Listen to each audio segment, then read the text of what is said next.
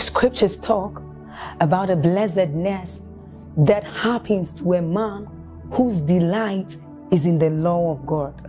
So, as 1 says, it says, But his delight is in the law of God, and doth he meditate day and night. He says that that man is like a tree planted by the rivers of water, whose leaves do not wither, and who bears fruit in every season. As you're about listening to this message, we believe that your life is going to be like that man planted by the rivers of water. Your leaves are forever going to bear. And we know that your, your season will not pass by. You will forever shine and you will forever bear fruit. We have a lot of content to share with you. So we would entreat you to subscribe to this channel as well as like us hit that notification bell to receive more updates from us because we know that whatever content here is going to set you on course at every time. It's going to make you attain whatever stature that Christ wants you to attain. Thank you. Of whom we have many things to say and hard to be uttered, seeing that ye are dull of hearing. Verse 12. It says, For for when for the time ye ought to be teachers. That means I expect you people to have risen to a dimension that you can begin to communicate these truths that you understand. It says ye have need that one teach you again. The first principles of the oracles of God. It says and have become such that have need of milk. That means there is milk. Are you getting my point? And there is strong meat. Hmm. Verse 13 for everyone that useth milk is what? Unskillful. You are a Christian. You are born again. You are filled with the Holy Ghost, but you are unskillful. That means you do not have sufficient intelligence to make use of the spiritual arsenals as at when due to the degree of their jurisdiction. The Bible says you are unskillful. In the word of righteousness, for he is a babe. 14.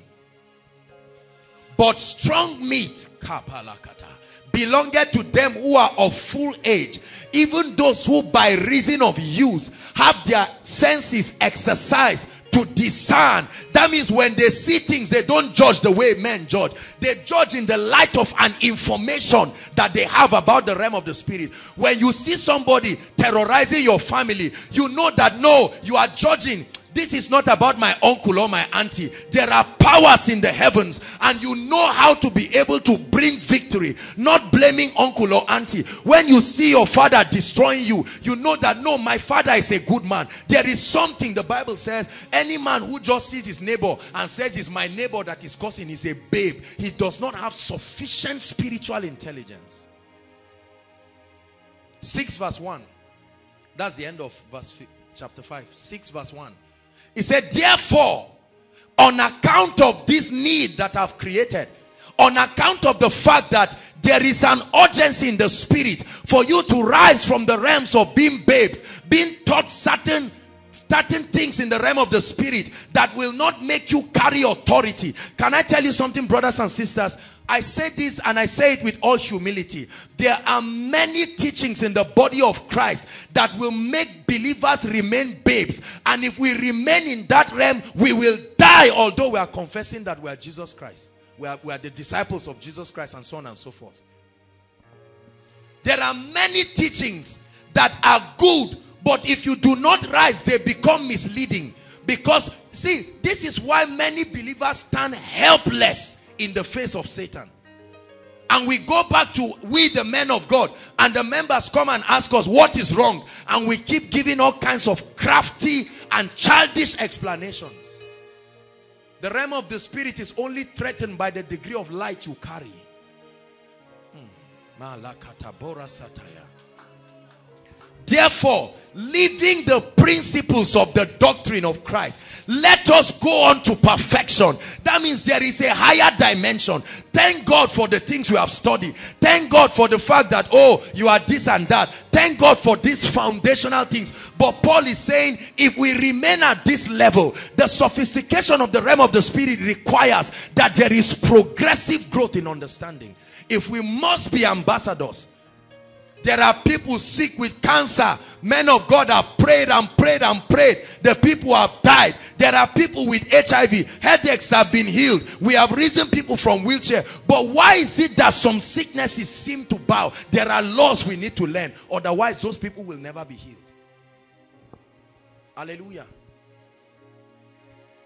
Let us go on to perfection. Not laying again the foundation. Everybody say foundation amazing that most of, most of the teachings we brag about in the church and call Rhema, the Bible calls it foundation.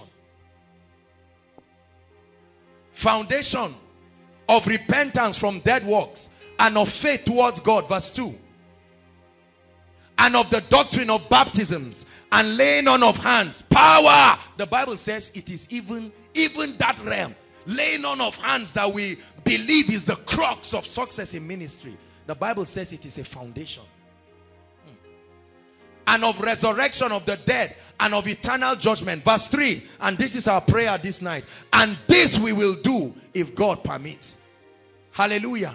So I'd like you to pray right now in one minute and say, Lord, I refuse to remain at the level of knowledge that I've had. I contend for higher levels of revelation. There is a generation waiting for me. My family members are counting on the revelation I will get tonight. The devil is destroying people. There are territories that are dying. And if we do not contend, there are churches that will pack up and die for nothing if we do not step in in these dimensions of spiritual understanding to know when to launch attack on the works of darkness and establish what Christ has done. Pray from the depths of your heart.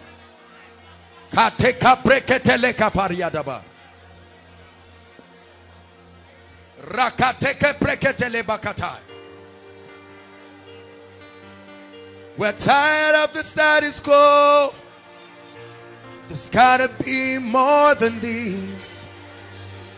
Tired of the status quo. There's gotta be more than these. There's gotta be more, gotta be more. There's gotta be more than these. For desperate people do desperate things, and we press in need gotta be more, gotta be more. Help me say, gotta be more than this. It's gotta be more, gotta be more. It's gotta be more than this. We are the desperate people. We want more, more, Lord. We are desperate people. We want more, more,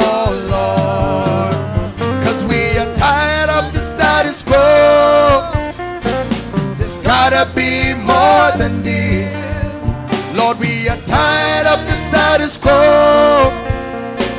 There's gotta be more than this. Listen. We're tired of burying people who should not die. We're tired of watching our families run away to herbalists as though the word of God is a lie.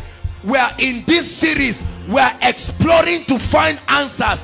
What is the answer, oh God? Why we have prayed and fasted about issues and it has not changed. Why am I still being pressed in the night although I'm born again? Why is it that I'm tithing, I'm giving and the doors are not opening? Can you pray for one minute? We're tired of the status quo. There's gotta be more than this. We're tired of the status quo. There's gotta be more than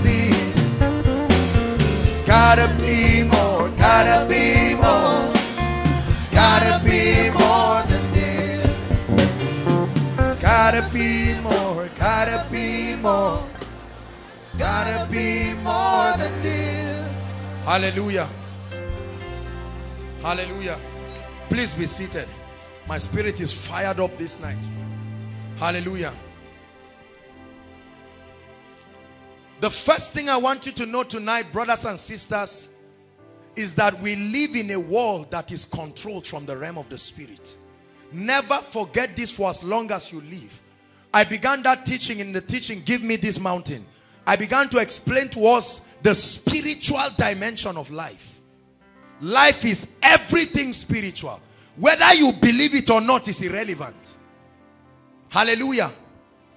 The Bible says in Hebrews chapter 1, it says now faith is the substance of things hoped for the evidence of things not seen. It said for by it the elders obtain a good report. The bible says through faith we understand that the walls not one the walls systems were made. Hallelujah. Are you following me now? I need you to know that the realm of the spirit is real whether you are an atheist, whether you are whatever, is irrelevant. There is a real realm that birthed this physical realm. That realm was in existence before Genesis 1 verse 1. The real spiritual realm with inhabitants. Praise the Lord. There are realms beyond that which the mortal eyes of man can physically see. That they are not seen does not mean they do not exist. Ephesians chapter 6. Generally, theologically speaking, the book of Ephesians is considered by theologians to contain the highest spiritual truths that um, summarizes the entire scope of the activities of men. Hallelujah. From chapter 1 to chapter 3 in the book of Ephesians, it tells us how and, and brings us to the understanding of our right and privileges in Christ Jesus. Hallelujah. Reminds us that we are seated with Christ. The realities of redemption, the things that are being wrought for us on account of what Christ has done. Hallelujah. And so it lets us see that the entire journey of the believer is hinged upon the platform of Christ's finished work. That is on account of his death, his burial and his resurrection that any other thing that will happen in the kingdom will happen. So chapter 1, 2 and 3 helps us to expand. Paul tells us how that by revelation he understood this. That we have been raised up with Christ. Hallelujah. And then chapter 4 and 5 begins to tell us how that um, it begins to explain to us, you know, our walk as a believer, our character, how to live in the reality of what Christ died to give us. So our walk, chapter 1 to 3 tells us about our sitting with Christ. And then chapter 4 and 5 tells us about our walking. Then chapter 3 tells us how to stand. It begins to tell us that although chapter 1 to 3 has already established the fact that all things have been brought under the feet of Jesus. But there is an enemy, there is an adversity, and because of that, we have to be trained to stand. Hallelujah. The psalmist prophetically speaking about that he said blessed is the man who does not walk in the way of sinners walk nor sit in the seat of the scornful nor stand so there is walking sitting standing. These are three prophetic postures in the spirit. Unfortunately most people just know how to sit. Hallelujah. Are you following me now? Chapter 6 verse 12 chapter 6 verse 12 the reality of the realm of the spirit. You don't need to have a vision or a trance to be convinced that there is a realm beyond that which you see hallelujah can we start from verse 11 please verse 11 it says put on the whole armor of God question the same Paul that revealed to us in the Pauline epistles the revelation of our seated position with Christ now begins to admonish us. He said, put on the whole armor of God that ye may be able to what? Stand. Why will Paul say stand whereas he said we are already seated in heavenly places? Paul said we have been exalted far above thrones and dominions and every name that is named, not just in this age, but in the world to come. Now he's saying stand against the wiles of the devil. Verse 12. For we wrestle. Ah, uh, uh, what are you saying again, Paul? We are seated in a position of rest. Now you are talking of wrestling. It didn't say for we argue. He said, for we wrestle not against flesh and blood, but against principalities, against powers. See how many times the Bible says against. It didn't say for, against, against, against, against. This is a contention. Look, let me tell you something, brothers and sisters. This world is not a playground. Don't let films deceive you. Whether you believe it or not, there is a rude reality that every man born by a woman must face, especially in this day and age. Against the rulers of the darkness of this world, against spiritual wickedness. Where? Where is the location called high places? Stop. Help me. Use your Google map to show me a location called high places. Where do we find it? But the Bible says there are planes in the spirit called high places. Where is it located? Geography students, scholars and intellectuals help us. Where is the spiritual location called high places? Other versions say heavenly places. I told you there are heavens and there is heaven. The Bible says the heaven of heavens. That means there are other heavens. We discussed that already. I don't want to go into it. The reality of heaven and hell, we touched that. Many people have gone to all of those astral realms and come back and told us they went to heaven. Hallelujah. Are you listening to me? There is a real realm, brothers and sisters. There are astral realms there are people who live in this earth who travel there and come back. They go to get power. They go to get wealth. Real spiritual realms. By the grace of God, I've had the opportunity to minister to probably thousands of people. So I can tell you from the truth of God's word and from experience. There is a real realm. Are you listening to me? There is a real solid realm. The Bible calls Satan that old.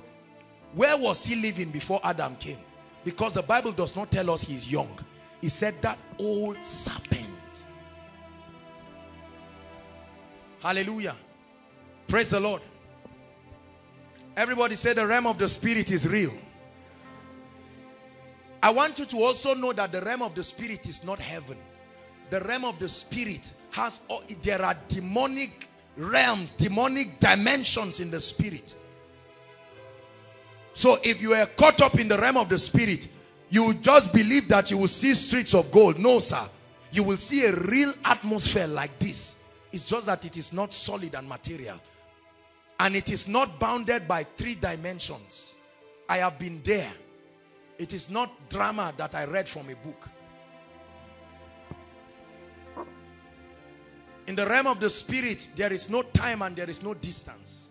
The concept of time and distance is the concept of physics. Isaac Newton developed it in mechanics to help people relate with the things, a process. But in the realm of the spirit, it does not exist. I was in the spirit on the Lord's day at once. At once. Hallelujah. Do you believe what I'm sharing? Please do. Hallelujah. Another strange location. Although we use it prophetically as anywhere the believers are. Where is Mount Zion? Because the Bible says, ye are come to Mount Zion. That means you can come. Where is the location of Mount Zion? I'm not talking of geographical Mount Zion. Hallelujah. There have been many findings in our world today that the world has not been able to offer sufficient explanation. One of it is the mystery of the Bermuda Triangle. Many people have been able to seek all kinds of explanation. Why is it that there is an intense magnetic field around that region that will wipe away everything at once, no matter how heavy it is? What is it about this strange thing? What is it about tornadoes and hurricanes that sweep across nations? How can a wind remove blocks and kill people?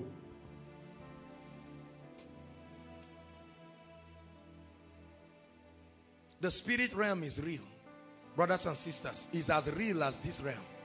As we are in this meeting right now, there are angels in this place. There are a lot of angels. The angels that have been sent to guard you because every child of God has angels. Once you are born again and you are in Christ, as a matter of fact, even when you are not born again, there are angels. Hallelujah. There are angels.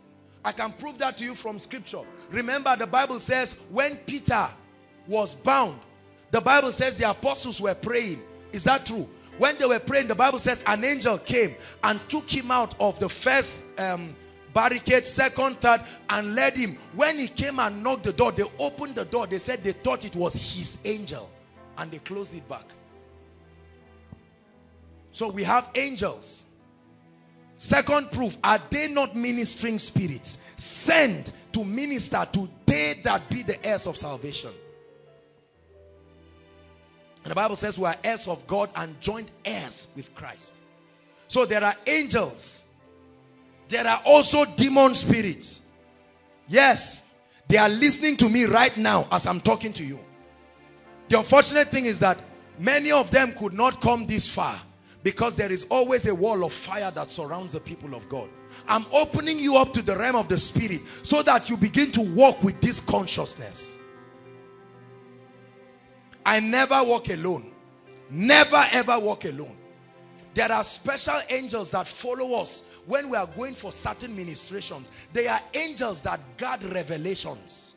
Revelation chapter 1 verse 1. The Bible says he sent it and signified it by his angel. There are angels that guard the safe delivery of revelations.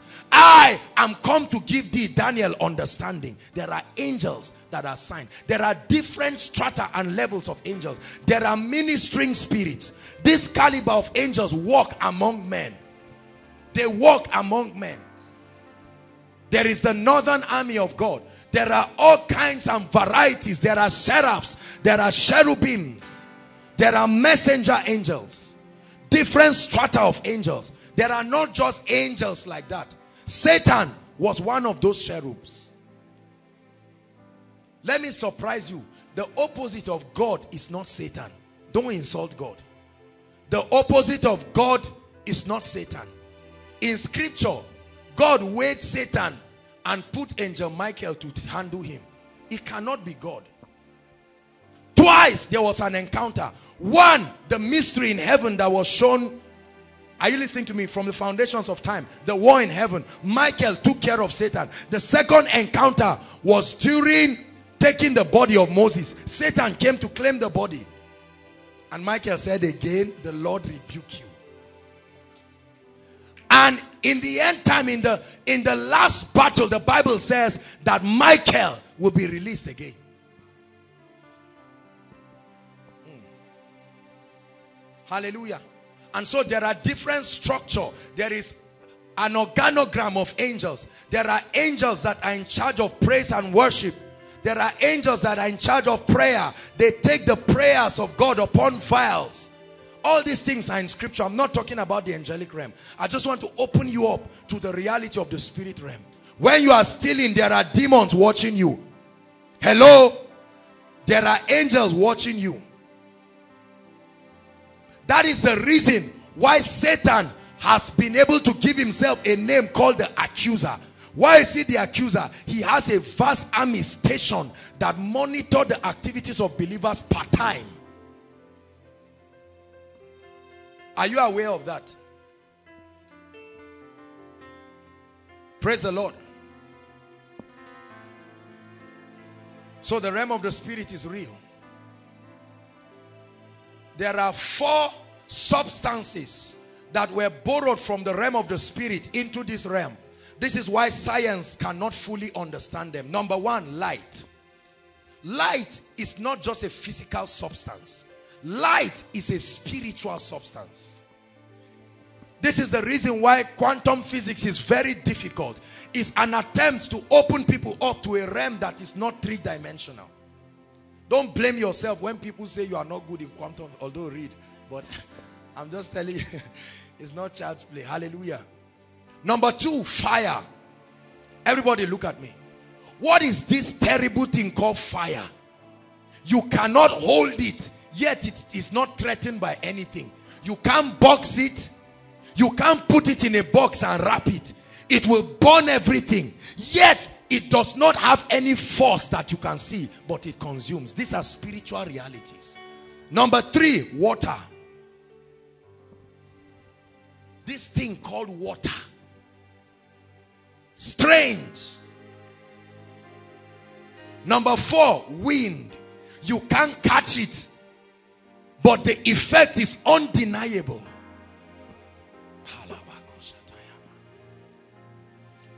Open your eyes. Will you open your ears?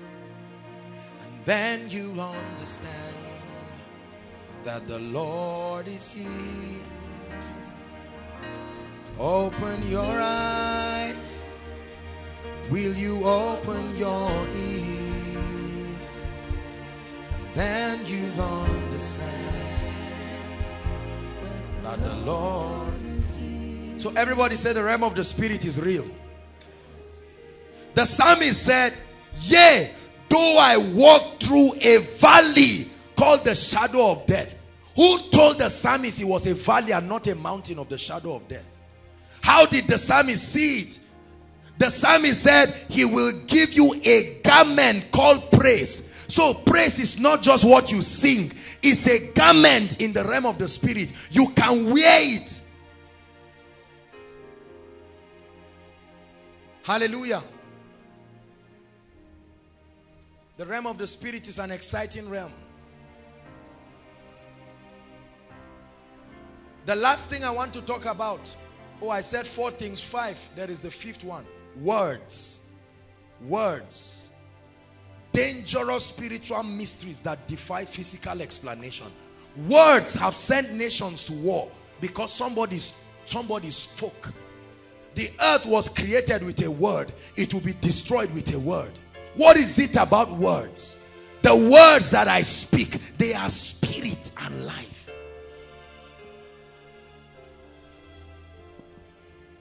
Look at me. I said it here, let me say it again. During the time of the apostles, they didn't have this. I hope you know. What did they call their word of God? Because it was their experience today we call the word of God.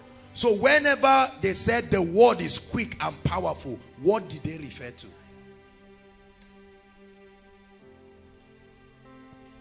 There needs to be a redefinition in the body of Christ. I believe this, of course. This I am not against this at all. Hallelujah. The reality of the realm of the spirit, heavenly places. There are planes, there are dimensions in the realm of the spirit. Another thing I want to tell you is that there are portals from the earth realm that physically open people out to the realm of the spirit. This will shock some of you. Did you hear what I said? There are what? Portals. Look at me, please. There are physical portals.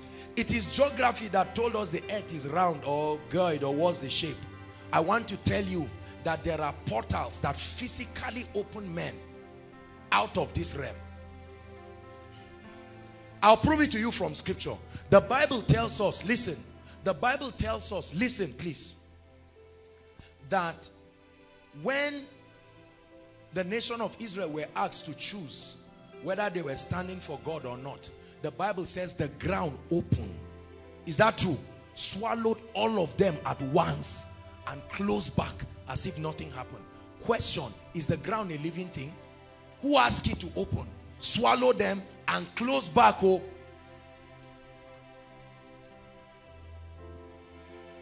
Jacob got to a prophetic portal and he said, this is the gate of heaven. It wasn't just a vision. He said, where I am standing, I'm standing the gates of heaven. When Elijah was going to check out of the earth, he knew the exact place where there was a physical portal that would take him out of the earth. Beyond the Jordan, he said, Elijah, ask your request quickly because very soon you will see chariots come to take me. And immediately he looked, he saw chariots that came and picked his physical body out of the earth realm. When Jesus was about to go to heaven, in Acts chapter 1, he knew the exact place to stay and he started levitating till he disappeared. Where are these portals? Ruth Heflin, one great woman that walked with the Lord, said a bit about this, but there was a woman called Anna Rountree. Anna Rountree was with Jesus every day of 2005.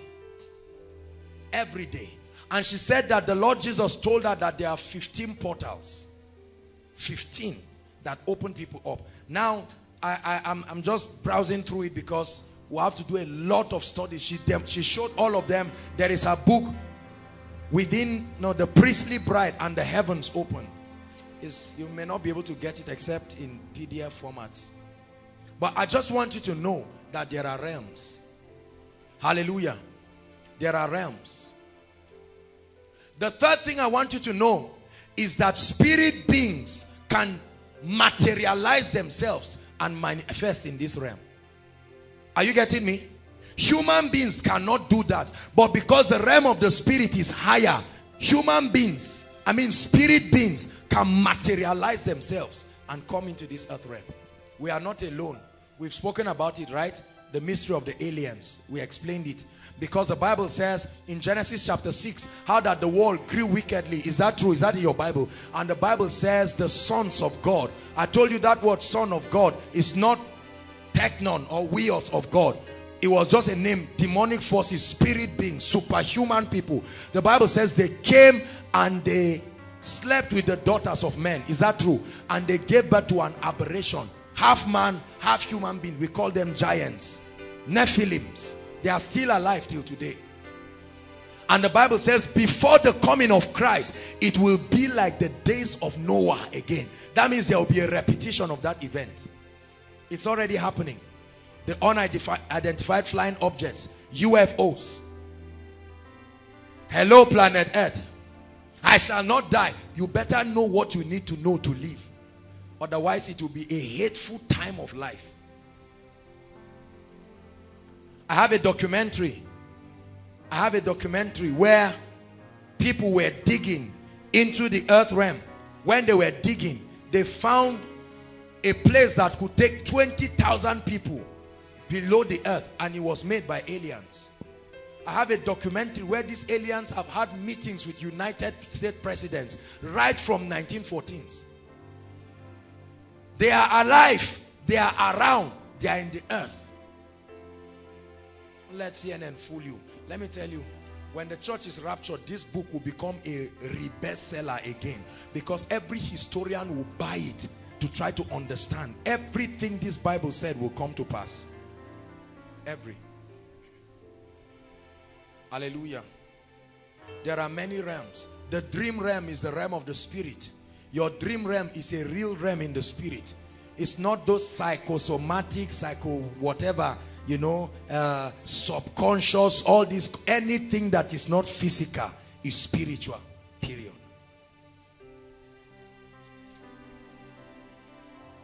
Hallelujah. God came to Solomon in a dream. Was it, was it a mirage? It was a real solid experience. Joseph had an encounter not to leave Mary in a dream.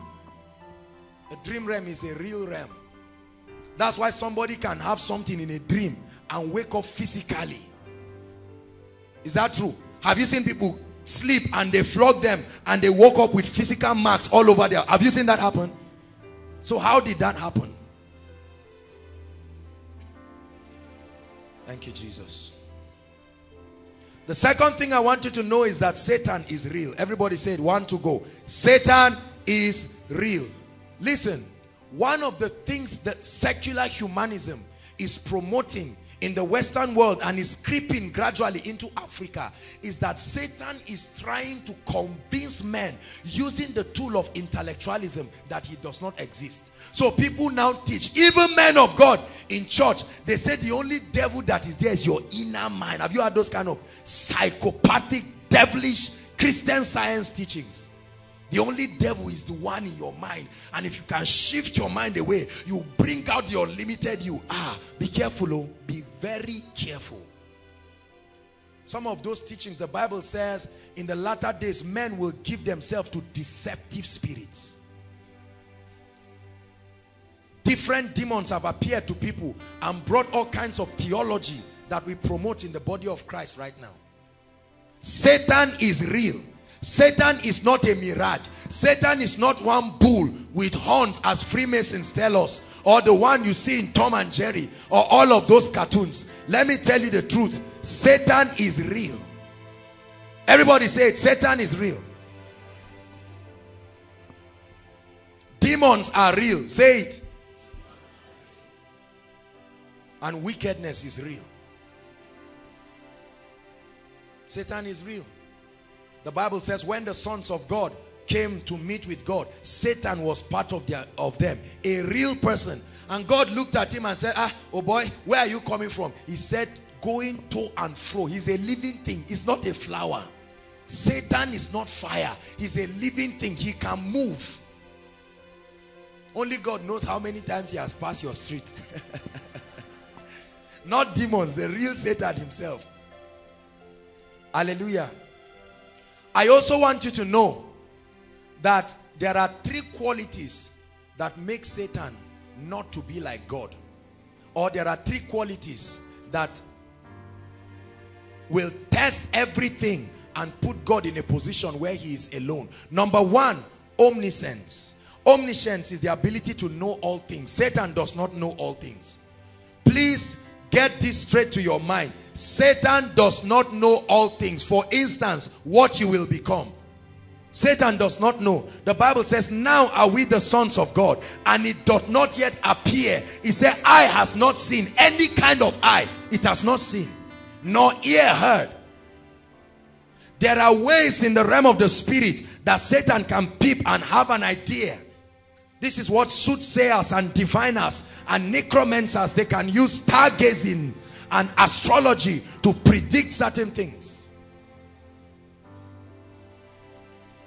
And wow people and perform magic like the Egyptian magicians. Hallelujah. Satan is real. Demons are real. Wickedness is real. Satan is not omniscient. He does not know all things. If he knew all things, he would have known where Moses was hiding and not waste time killing everybody. If he knew all things, he would have gone to kill Jesus at once. His trial and error. See, do you know why Satan killed Cain? I've told you. There was a prophecy in the Garden of Eden. The seed of the woman shall bruise the head of the serpent. Eve gives birth to Cain and Satan thought that Cain is the seed of the woman. So he came and entered Cain. Then he was shocked and when he found out that they gave birth to another child, he said, Cain, kill Abel in case Abel is the seed of the woman. Are you seeing that? When Moses was born, Satan thought Moses was the seed of the woman. Then he missed it again. He kept, that's why when John the Baptist was born and he began to manifest, he moved through the scribes to ask him, are you the Messiah? In other words, let's verify. And Moses, I mean, Elijah, um, John the Baptist kept confusing them. He said, I'm a voice. They said, go confuse us. Who are you? We want to kill you. That's why Herodias asked for his head. What will you do with the head of the man? That's why when Jesus said, all right, I'm not hiding it again. I am. They started following him till he died. So it was a plan. Satan killed, I mean, Jesus allowed Satan through people to kill him. And I will tell you why. It's still a law in the realm of the spirit.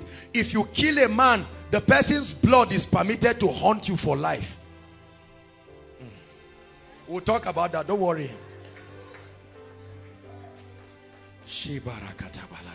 John 8 44. Who is Satan? Who is this guy called Satan that has threatened people? When you are going home alone, you just are hearing sounds that you shouldn't hear because you are afraid. There's Satan. If you watch a Nigerian film, we watch one fearful film years ago called, uh, what they call it, Ultimate Power. Ha! That film was not very encouraging. Hallelujah. It says, ye are of your father, the devil, and the lust of your father ye will do. It said he was a murderer from the beginning. Ah, ah, That's a terrible description. That means there is a story we don't know. Where is the story that brought Satan as a murderer? There are hidden stories enshrined. So Jesus was saying, I know this guy, oh. There are lots of stories you don't know. You just know Genesis from 1 verse 2. There is a lot more. Even part of his archives was that he was once a murderer. When did this happen? From the beginning, and he abode not in the truth because there is no truth in him. He said, when he speaketh, he speaketh a lie of his own. He said, for he's a liar and the originator of all them that lie. The word lie there is not just negating the truth, it's deception. Satan is a deceiver. His, his character is to deceive. He deceived the whole world. The badge of Satan is deception. What is deception? To make men err from the truth. It says, ye err, not knowing the scriptures. Deception. So every time the spirit of the Antichrist is manifesting in a place, there is deception. I spoke about that prophetic insight into God's agenda. You can get the teaching. Deception. Hallelujah. Let's hurry up. Revelations 12 verse, verse 9. Revelations 12, I believe verse 9. Let's turn there quickly. It,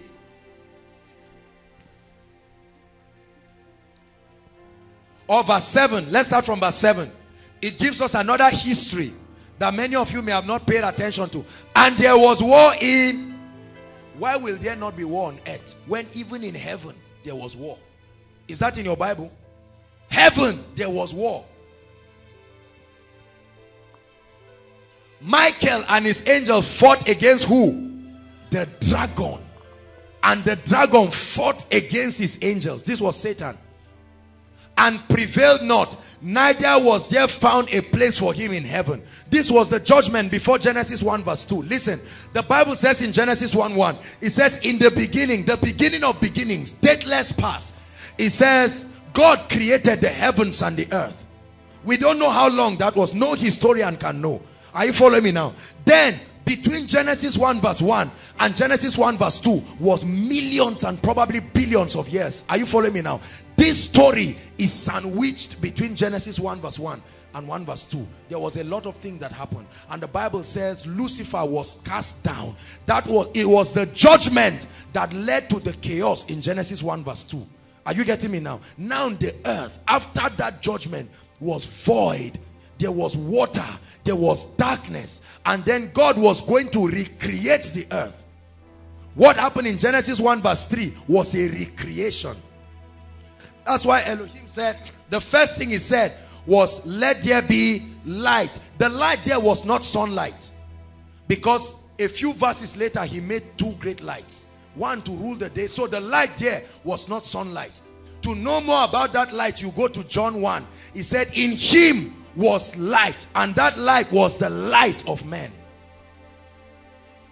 So that light is the quality of his person that sponsors creation. Let there be light. Hallelujah. It says and the great dragon was cast out. That old serpent. Aha you see now so this serpent story is not a it's a very old story.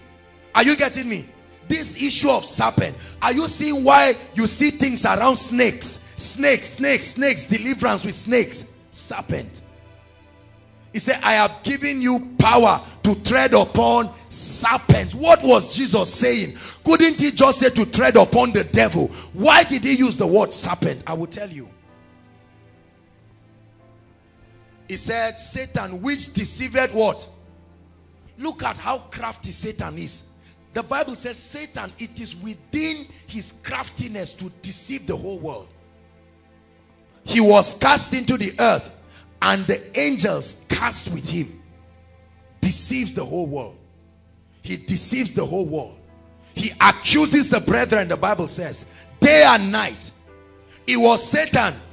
Listen, it was Satan who went and God was speaking to him. He said, have you considered my servant Job?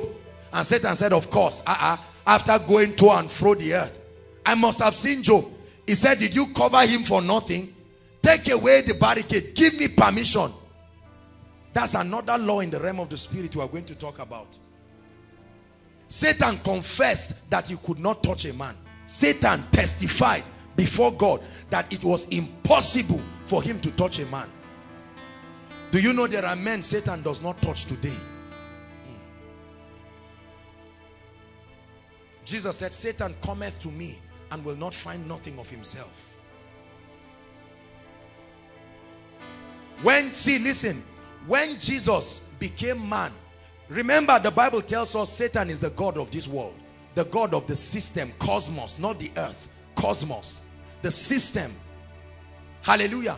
That was why Satan looked at Jesus. Come, this, this is what he did to Jesus in the temptation. The Bible says when he came and met him, he said, turn this stone to bread. Jesus didn't shout at Satan. Why? And then he said, follow me. And Jesus was following Satan. He took him to a mountain and showed him the kingdoms. How can Satan drag Jesus and Jesus will just follow like this? I will tell you why. Because Satan was the legal occupant of the earth. He collected the keys from Adam. And until then, the keys had not been collected yet. So he could brag. He said, Jesus, I know you came to collect this key. Let's negotiate. Bow, let me just give you. Must you go to the cross? If Jesus didn't go to the cross, there will be no blood. Satan would have collected it back from man. So Jesus said, no, I have to go through a process. Blood must speak. Satan was wise. Listen, if, if Jesus gave him the key, Satan would have laughed. Later on, he would have collected it back from man because there was no blood.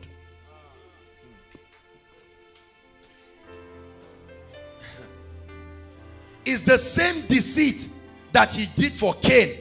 Cain sacrificed and refused to put blood. And so his sacrifice was not accepted. Because Satan was afraid, let the sacrifice of Cain not be accepted. Peradventure, he is the seed that will bruise him. So he deceived him. Why this waste? Give yourself shortcut. Just use vegetables. And Abel, there was blood on his sacrifice and it reached the heavens. When Elijah was going to call on God, he said, get me blood first. Without blood, I cannot call on God. I will explain to you why every time they kill in this country, people become richer. The mystery of blood money. Every money in the earth is blood money. Whether it's the blood of Jesus or the blood of demons. There is blood that sponsors everything. Wherever we can stop tonight, we'll stop. John 10 10.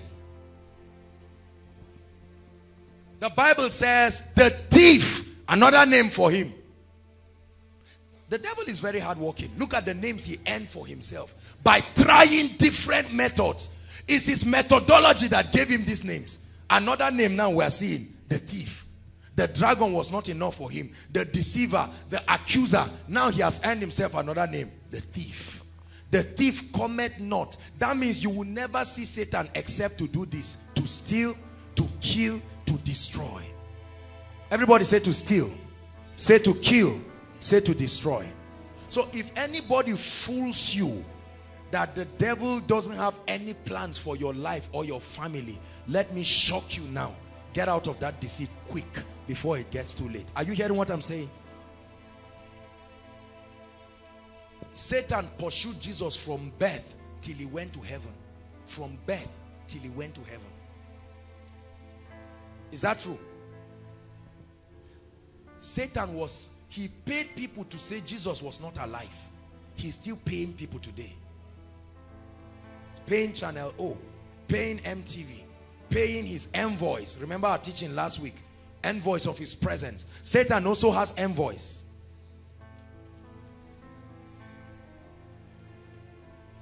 He's a deceiver. He's the arch enemy of the church.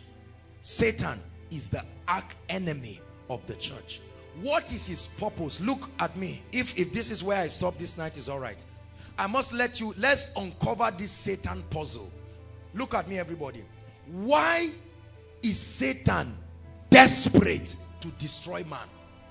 Have you ever asked yourself that question? Why wouldn't it there are people who used to say why wouldn't the devil let me go? Let me go now eh? let my family go. The devil say you have not seen anything yet. If you know what i suffered before you were born you do, I don't plan to leave you until I see many of you don't know how old Satan is. Satan tried Moses. He tried everybody. He didn't leave them. They forced him to leave them. So you, you just come in the middle of history and believe because you just said, oh, I'm born again. The devil say, "Okay, let's concentrate on others. You think so? The angrier he gets, he gets angry by the day because his time is short. He's more determined over our generation than any other generation. Listen, I want to tell you something. From the 70s down to the 90s, Satan had been plotting a dangerous arsenal against the American church. He deceived them into believing that when you are born again, that's all. They taught it and they transferred it to us. Look at what is happening to America now because of that gospel. Who would have known that a man will look at another man and wants to sleep with him? Even a preacher. Look at it was happening behind the scene while they were just telling themselves everything is okay. The devil is saying, Time, I am patient. I can be patient for a whole generation. He kept mapping his strategy. Right now, they are removing the commandments. They are doing everything. People are occupying positions. And he's coming to Africa softly. And God is raising people. Say, Joshua Selman, arise. You are this horn. And Koinonia, arise. Yes. Because if we keep allowing this incomplete gospel to fool us, one day, a day will come catastrophe will happen again in Nigeria. Maybe we'll start sleeping with animals. But there are carpenters that will not bow. Look at what has happened to America, brothers and sisters. This was a place I was discussing with somebody. I said, where are the people who carried the mantles of Smith Wigglesworth? Where are they? They were, do you know Satan made sure a generation did not take the mantle? While these guys were preaching, Satan was busy. Take, he started destroying these people from a tender age.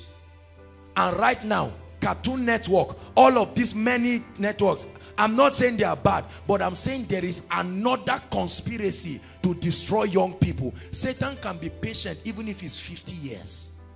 Right now, they will show sex in a cartoon and do something, something that was for entertainment, and children are watching, and the parents say they are small. Hold on. Very soon you will see them get up one day and you will see the drama that begins to happen. You will see police with your son. Where is he coming from? He went to sleep with somebody. They say, oh yeah, let's go to the prison. That's when you will know that there is drama. You say, you? 12 years. 12 years. What do you know about this? I watched it somewhere.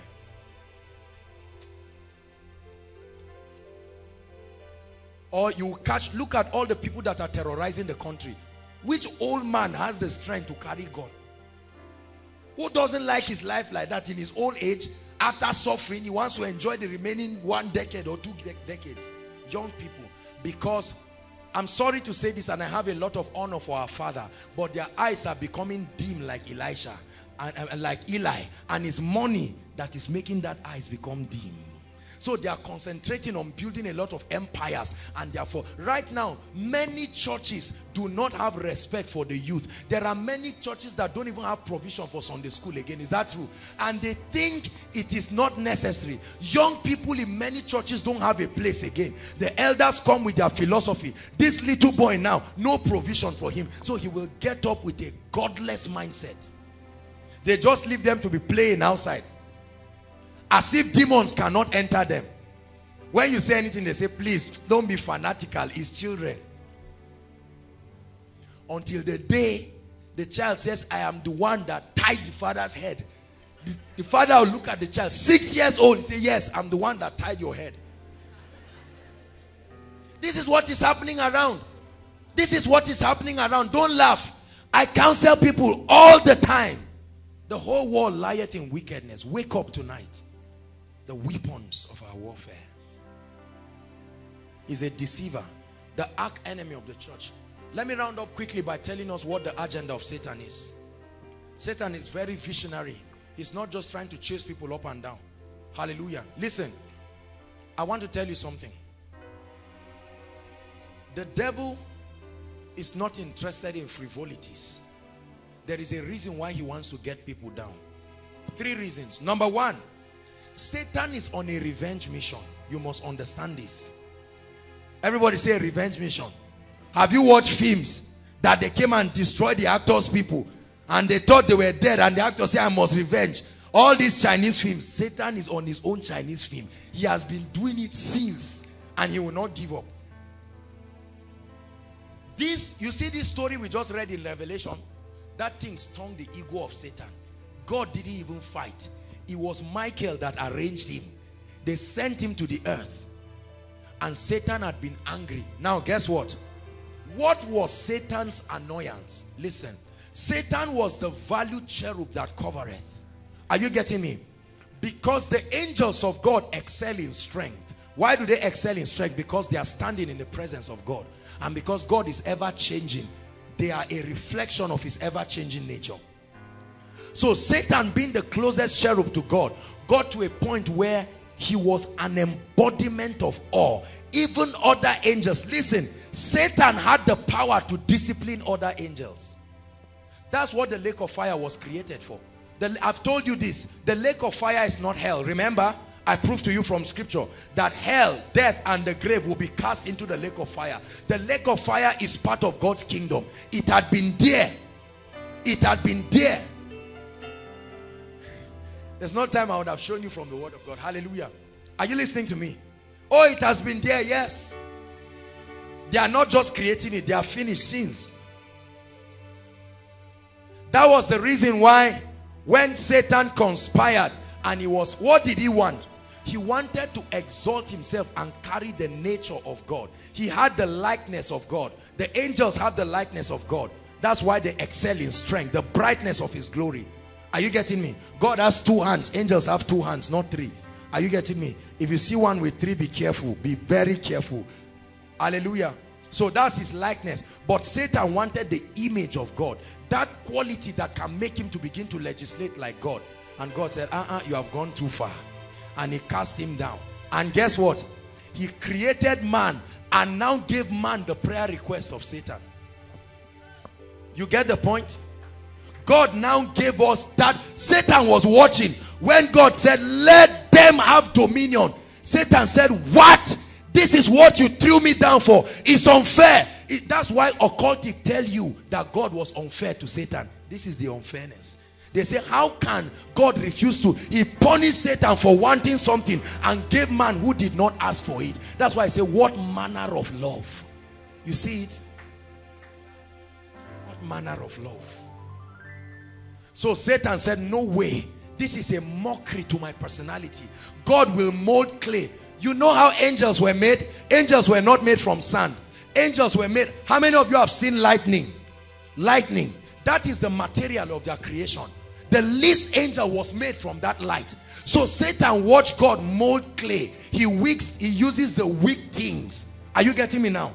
So he used clay and put his image and Satan said, come on. No, no way. We are going to fight against this. So that anger is what Satan still has towards you. You gave your life to Christ and you believe Satan is your friend. Now, with all this story I've told you, do you think he wants to leave you?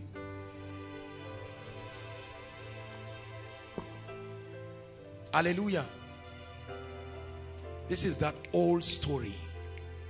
So Satan came to Adam. Listen, why did he come to Adam? He came to Adam because he saw God giving him the keys.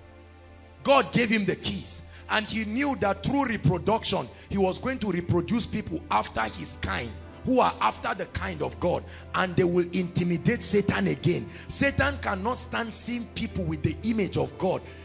How many of you, let me, let's, let's be very honest. Brothers will understand this. Brother, you like a particular lady. You don't know what to do about it. The thing is eating you. Then somebody that you feel is not up to you will just come and meet her. And then the lady will be dying for the person. You get that pain, multiply it times infinity. That's what Satan is feeling today. Because the church is the bride of Christ. You see that pain. So every time I stand, mortal clay, I say, let it be. And it becomes. Satan is annoyed. How can clay, clay, the psalmist said, what is man that thou art mindful of him? Did you not see angels that you could make men? What is man that thou art mindful of him? Not the son of man that thou visitest him. Psalm 8. He said, you have made him a little lower than Elohim. And you have crowned him with glory and honor.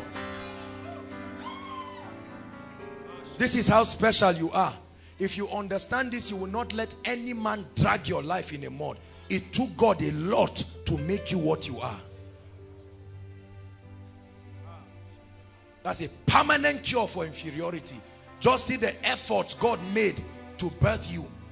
See how many angels would have taken your place. They all stood hoping and God said, I have another plan. It's not one of you. He started molding clay and breathed into that clay and called it Adam. Even when man fell, God went out of his way to start pursuing man. It pains Satan again. Ha! I fell once. You punish me. Man has fallen many times. You are still looking for him. This is injustice. You see it? You see what pains Satan? So he came and met Joshua the high priest and said, God, I'm coming to accuse. This guy is a priest. His garment, you punish me for falling. Now look at this man. And God said, I just love him. Case closed. I am God. I can veto anything. Jacob have I loved. Esau have I hated. Why will I not love him with all my heart? This is not an issue of psyching you. You let aside your majesty, gave up everything for me, suffered at the hands of those you have created. You took all my guilt and shame when you died and rose again. Now today you reign forever and now exalted. I really want worship you, my Lord. You have won my heart and I am yours forever and ever. I will love you. You are the only one who died for me. Gave your life to set me free. So I lift my voice to you in adoration. Listen, if you stop loving God because he didn't give you husband, you are a wicked person. Look at what he went through. And will he not give you prosperity or ministry? You see why God gets angry when men stop trusting him. He says you are ungrateful people. Look at what I did to you. Only because the breakthrough did not come. Now you are backsliding. That's why I love him with my life. Money or no money. Ministry or no ministry. He has already done too much. Too much. Listen. If God called one of the angels and gave him his image, he is still God. How look at how many times people fail God. And it's not like we went and we were repentant. He was the one chasing us and begging.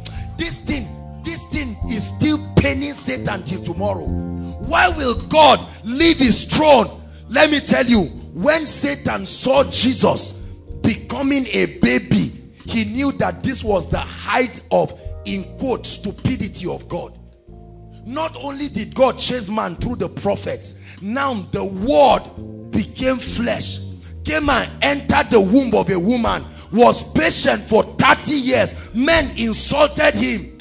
That's why he came to Jesus and said, I am concerned about your humiliation. Take the keys, just bow to me. And God said, no. That's why the Bible says, wherefore God so highly. God was so impressed by the humility of Jesus.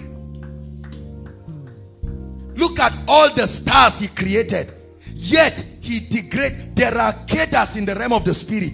He became lower than the seraphs. Lower than. That's why, see, to an extent, the Bible says after his fasting and prayer, angels came and ministered to him.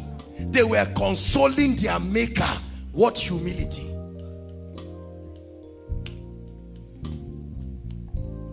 So Satan is on a revenge mission. There is anger and annoyance. That's why he will not leave your family. That's why he will keep deceiving preachers to tell people everything is all right. Just shake your body and feel nice. Let me tell you the truth. Get out. I'm not saying be angry or criticize any man of God. but the moment you do that, Satan start taking a breath of fresh air and says, please continue. If you need money for this kind of ministry, I'll keep giving you money. That's why some people get money without praying. They think it's God that is giving it. Satan is saying, camp at this level. If, if money will make you not to pray, take the money, stop praying just be enjoying the money. Let me continue dealing with other people. But there are some people that have determined money or no money it can't stop our prayer. Every day we will shake the gates. They must hear this sound. We must register our presence. Prosperity or no prosperity whether my family needs help or not is a sign. I'm just letting satan know hello good morning Ambassadors are still alive.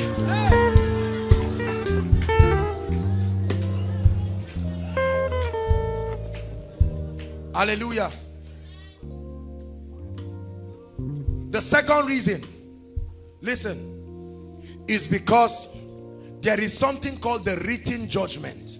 Judgment that has been written for Satan. I hope you know that. Nobody can pray it we cannot gather now and say, God forgive Satan, please. Uh, it is written. Are you getting me now? So Satan believes. Listen, Satan knows he's going to the lake of fire. I hope you know that. He has deceived the demonic realm to believe that he will overthrow mankind. Listen, and except the army rise, it looks like it's possible. Because when you see the way Satan is possessing and oppressing families, it looks like there is no hope. So Satan keeps convincing the demons and say, if we continue, a day will come we will destroy mankind and God will do another strategy and this lake of fire agenda might be cancelled. Are you getting it now?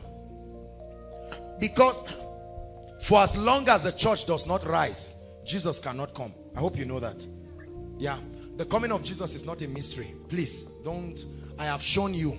I have shown you. Jesus is not coming like a thief in the night to the church. Brothers and sisters. First Thessalonians 5. Please, very quickly. First Thessalonians 5. Let's just settle this in once and for all. I've told you. He's coming like a thief in the night. The Bible says that. The question is to who? Not to the church. How can he love us so much and come like a thief in the night to us? Who is he afraid of that is coming like a thief? Let's look at it. See, a lot of theology that we got, we believe them, we are convinced. Everybody, look up, I'll start reading. But of the times and seasons, brethren, ye have no need that I write to you. Verse 2. For you yourselves know perfectly that the day of the Lord so cometh like a thief in the night. This is where many of our theologians stop. Is that true? But there is more. Read on. For when they, who are the they? Not us. When they shall say peace and safety, then sudden destruction cometh upon them as travail upon a woman with child, and they shall not escape. If you love God and you believe in his word, read verse 4. One to go.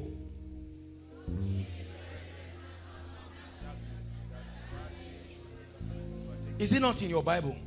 Is that not it? He said, but ye, brethren, he has spoken about they, the foolish virgins who are outside. Now he's saying, ye brethren, you are not in darkness. So why should it come in the night? He says that that day should overtake you like a thief. Is it not the spirit and the bride that tells the word to come? The word does not just come. The spirit koinonia in partnership. It is the church in partnership with the Holy Spirit who say we have conquered the systems King of Kings. Come and behold the works of your bride. And he will come and come and harvest a church without spot or wrinkle. So it is because we are in the end times that God is releasing apostolic and prophetic graces to accelerate the advancement of the kingdom there are souls to be won. A lot of people who are saying Jesus is coming, they don't have a passion for God. It is true, don't get me wrong. Jesus is really coming soon. Very, very soon. That's why he puts an urgency upon us. That's why we are launching things like Project 10,000 to make sure that we can push this gospel. That's why we are sending all our messages free. We don't have time to look for money right now. There is an urgency on the ground. Why do we do all of these things? If we are looking for a name, can't we just write books and be receiving royalties? We are smart enough to do research. All the messages we have preached, if we change it into books and just balance and be receiving royalty, at least one of them will be a bestseller. Don't you think so? So what puts this fire? What makes you leave your house and come and sit down and other people do not understand? You are a savior to them and they are now criticizing you. Don't be afraid. You are the savior that will arise. Whenever people talk and say, you self, don't know, uh, you have the, another spirit. It's the spirit of Christ.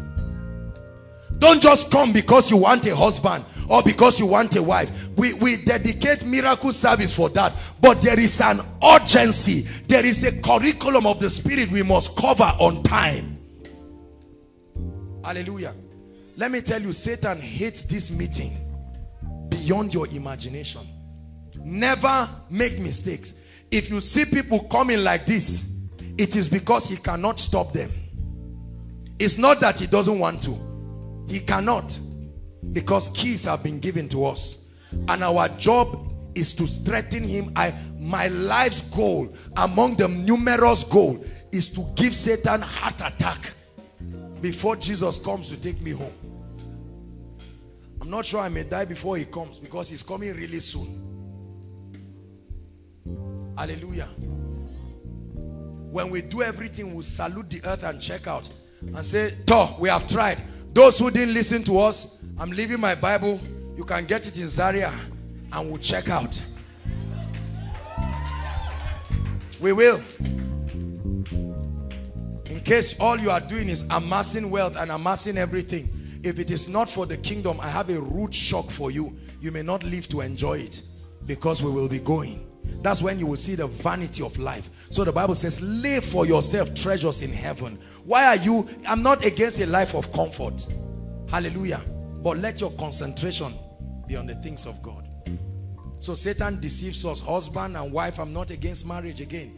And all of these things. Oh, job, I don't have a job. God, I will backslide. And God is saying, after all I've done, oh yeah, backslide. Now is your own fault. And the devil is saying, please, go ahead, backslide. I will supply you the grace, the bad friends, all the arsenals you need to quickly backslide. That's why you can download any junk in the internet free of charge. Because the devil wants to accelerate your backsliding. And then we the men of God, Satan keeps making us sleep. And all that we are concerned doing is criticizing people and saying what God didn't call us to do.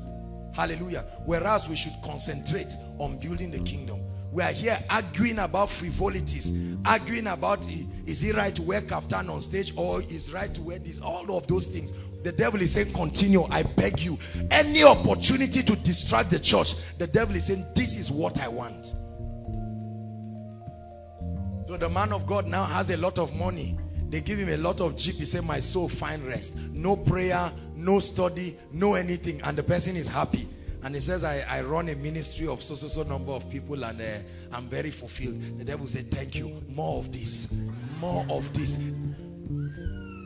But when Satan finds people who, when God blesses them, it doesn't change it. The devil says, how do we throw these people down? See, the devil is thinking out. While you are sleeping, he's not sleeping. They are just meeting and saying, for God's sake, how are we going to put Aaron down? As in the middle of the discussion, then you wake up. You just felt like ventilating your spirit by one o'clock in the night. Rakataba and you are shaking the car keys, meaning it does not matter. The car keys didn't change anything. Rise up on your feet. Let's close. Come on, let's begin to pray in the spirit. We have a passion to see his kingdom come.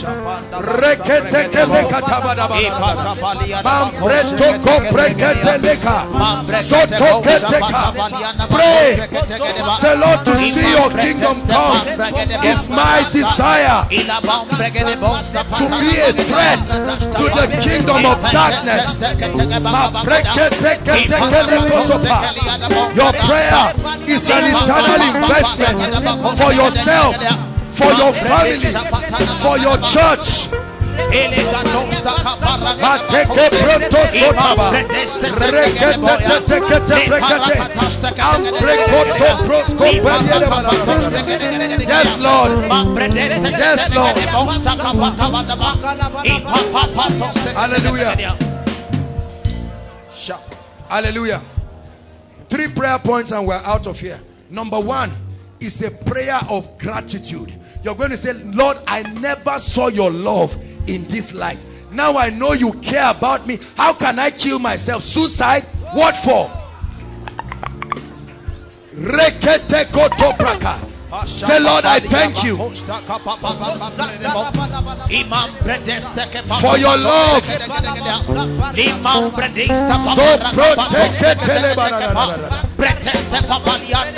Thank you for your love. In spite of myself, in spite of my limitations, in spite of my shortcomings, thank you. Thank you for loving me enough to seek me. Oh, yes. Thank you because you are not a man. Thank you because you are not a religious person.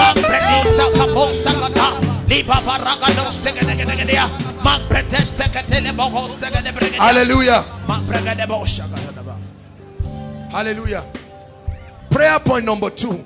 You're going to say, Lord, I receive grace to contribute in whatever way that will show you that I love you and I'm interested in your agenda. Whatever way by casting out devils, by financing the kingdom, by getting men saved, by getting them filled with the Holy Ghost, by praying for preachers, by praying for pastors, by not gossiping about people, whatever contribution, no matter how little, I receive grace, grace, grace, grace. Whether it's to pray for of God, whether it's to sow into their lives, whether it's to sow into the kingdom, whether it's to get men filled with the Holy Ghost, whether it's to produce trust, whatever contribution, oh God, I receive grace.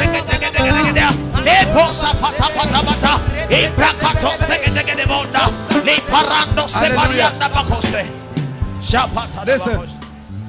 Brothers and sisters, can I tell you something? Look at me.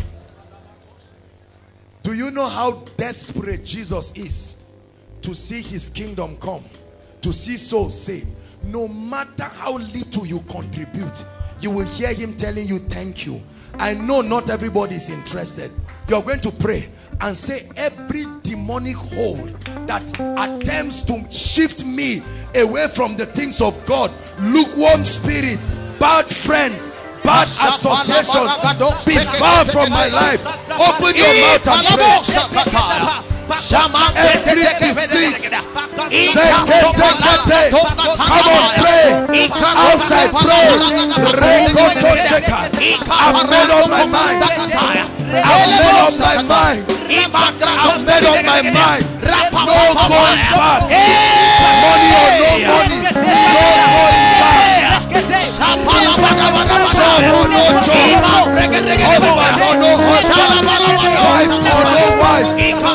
am committed to see your kingdom come with my finances, with my anointing, with my voice. You have given your best. I will give my best.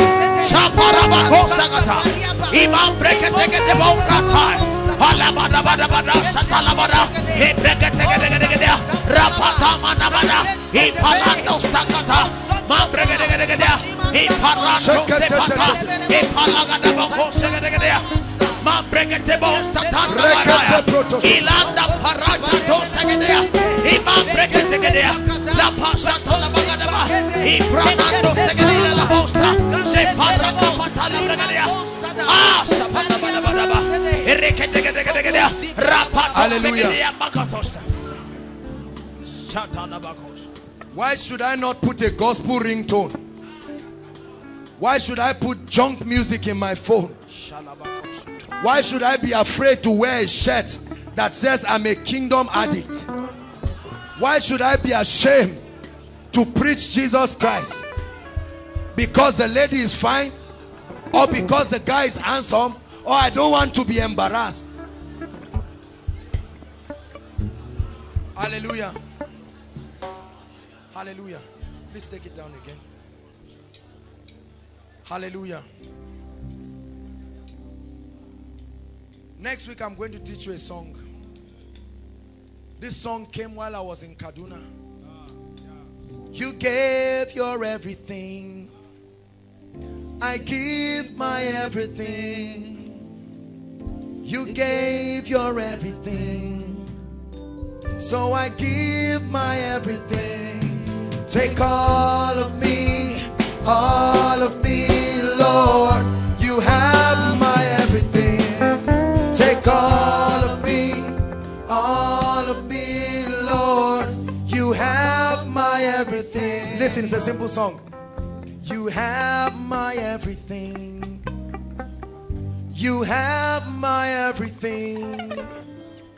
Lord, you have my everything. You have my everything. Take all of me, all of me, Lord. You have my everything. Take all of me, all of me, Lord. You have my everything. Let's try one more time. You have my everything. You have my everything. You have my everything. You have my everything. You have my everything. You have my Take all of me. Take all of me. All of me, Lord. You have my everything. Take all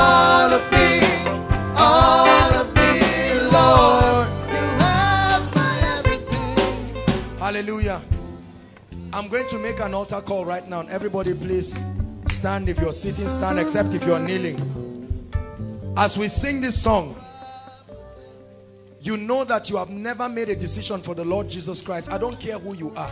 This is a serious business. Please, we are not playing. Or if you've given your heart to the Lord, but you found yourself derailing, Jesus welcomes you tonight. We want to recruit you as a matter of urgency so that you can participate in this building. There is an urgency. Christ is coming. There is an army that must be raised. Brothers and sisters, this is a program. This is an agenda that God is doing. There's no time to waste. Now is the time you will tell the world goodbye. You will tell the flesh goodbye. And you will make a real decision.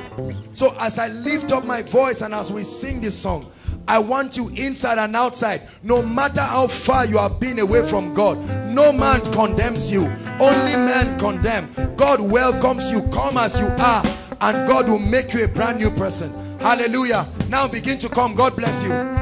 You have my everything. God bless you. Appreciate them. You have my everything. Take all of me, all of me,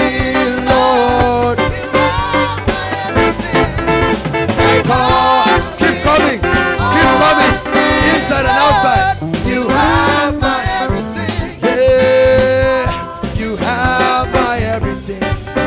Shame on the devil tonight because you are going to come. Forget about your friends. Forget about your friends. You have my Welcome to your place of destiny. Take all of me, All of me, matter how far you have gone. It doesn't matter how far. You can start You have tonight. my everything. You have my everything. You have my everything. You have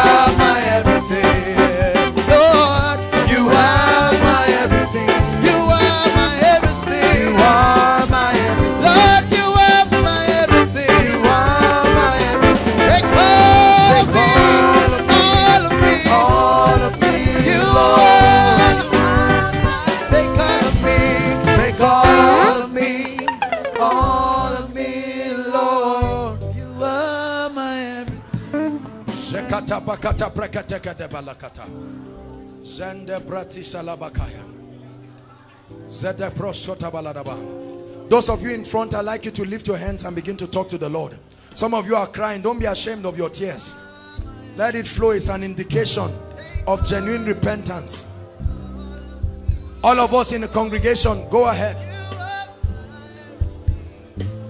This is an agenda that is so key to God.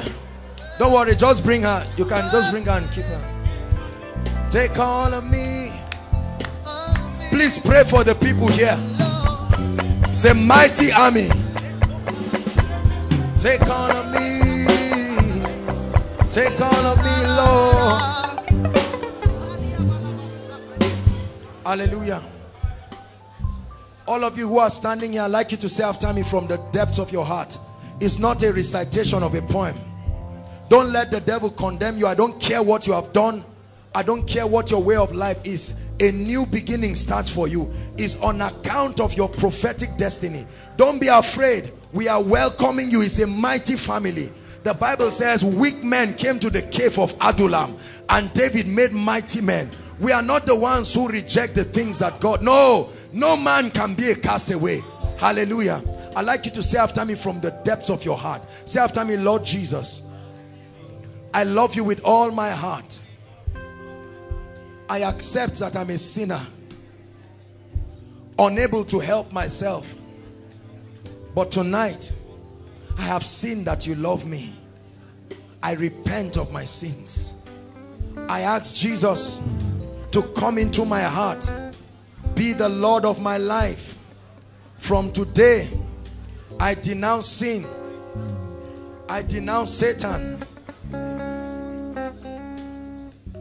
In the mighty name of Jesus, I am a child of God. I am a child of God. Satan, take your hands off my life. Take your hands off my family. From today, I move forward ever and backward never. Let me pray for you. Keep your hands lifted. Father, thank you. Thank you. Thank you for all the mighty people that you have brought. We receive them with humility and we celebrate their gift in the body. Lord, we thank you because from today you will set them on fire. They will never be the same. No backsliding. No going back to the world. We impart upon you grace to rise up and live the victorious Christian life. May mighty men and women come out of you in the name of the Lord Jesus Christ. Hallelujah. Thank you so much for this great decision. Everyone, I appreciate and I celebrate you for this mighty decision. Hello. Scriptures exhort us from the book of Proverbs.